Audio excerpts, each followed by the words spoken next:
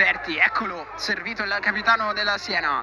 Dentro l'area anche Favalli, così come Paloschi. Pagoberti a cercare proprio l'ex Milan! Alberto Paloschi.